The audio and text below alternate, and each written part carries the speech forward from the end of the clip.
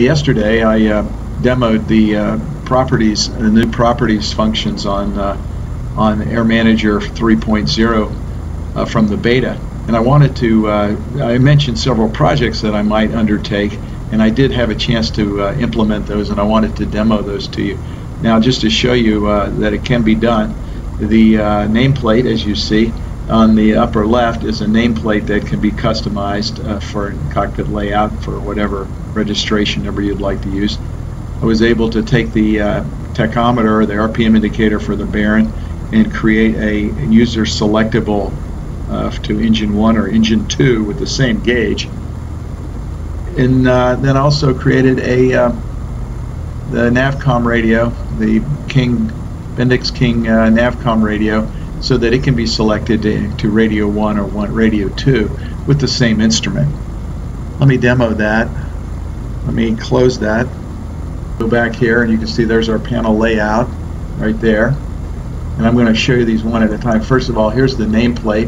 You can see call, the properties that I've added are call sign ID text. This is the registration number displayed on the panel. So I'm going to change that to November one zero Romeo. In fact, let's pick something more like uh, Golf uh, Alpha Bravo Romeo Echo.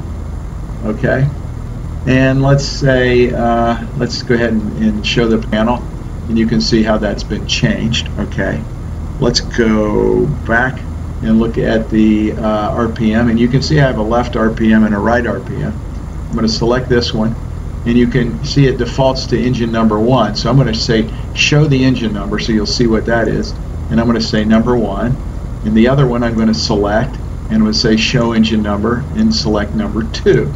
And that's all we have to do. Now when we show this, you can see now this optional text is displayed. I thought that would be handy so that you could uh, differentiate which is which, you know, when, when you uh, uh, change them, you can make sure you have them in the right position. Then you can turn that attribute off, that property off, if you don't want that text to be visible. But uh, you know, I can show you that. Uh, you know, we'll push up the, the left throttle,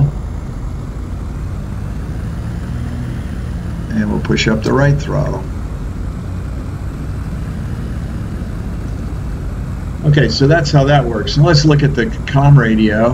Um, close that again. And look at the Bendix King. And here we have uh, show Navcom number, display the radio number. We'll say yes. So you can see that works. And we'll make it Navcom 1 in this case, but you can see it could be Navcom Com 1 or Navcom 2. And uh, we'll display that.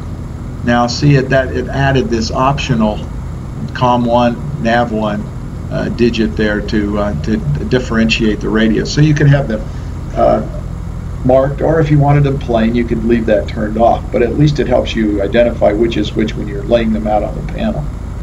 And it works just like the uh, COM radio would normally work. Um, and uh, I have this set up to work on both uh, air, the, both the FSX and X-plane, and it seems to work well both.